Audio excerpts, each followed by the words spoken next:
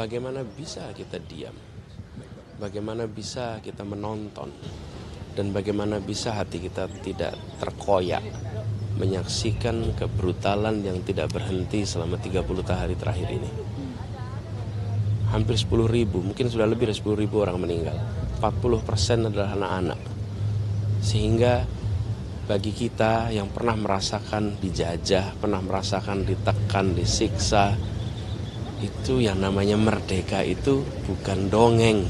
Merdeka itu adalah sebuah pengalaman dan penjajahan itu pengalaman. Jadi hari ini kita menunjukkan solidaritas, kita mengirimkan pesan kepada dunia bahwa bangsa Indonesia, bangsa yang mencintai kemerdekaan, mencintai kedamaian, memperjuangkan kemerdekaan dan bangsa ini memilih untuk ikut menyerukan hentikan kekerasan, bebaskan Palestina.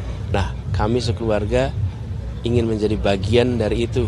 Biarkan anak-anak ini nanti akan bisa bilang bahwa di saat Palestina sedang disiksa, kami tak menonton dari jauh. Kami turun langan langsung. Kami ikut menyerukan. Itu catatan bagi mereka dan mungkin ratusan ribu lain yang nanti hadir punya pesan yang sama.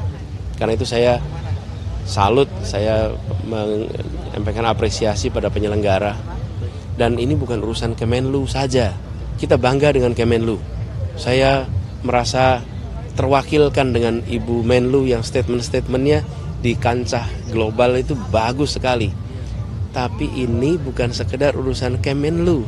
Ini adalah urusan kita semua sebagai bangsa.